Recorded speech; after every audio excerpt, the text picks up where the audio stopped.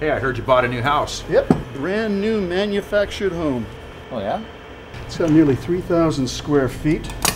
Kids each have their own bedroom. Linda has her dream kitchen, and I've got both a shop and a two car garage. Wow. So, why a manufactured home? I guess I just wanted more. Coach Corral, the home.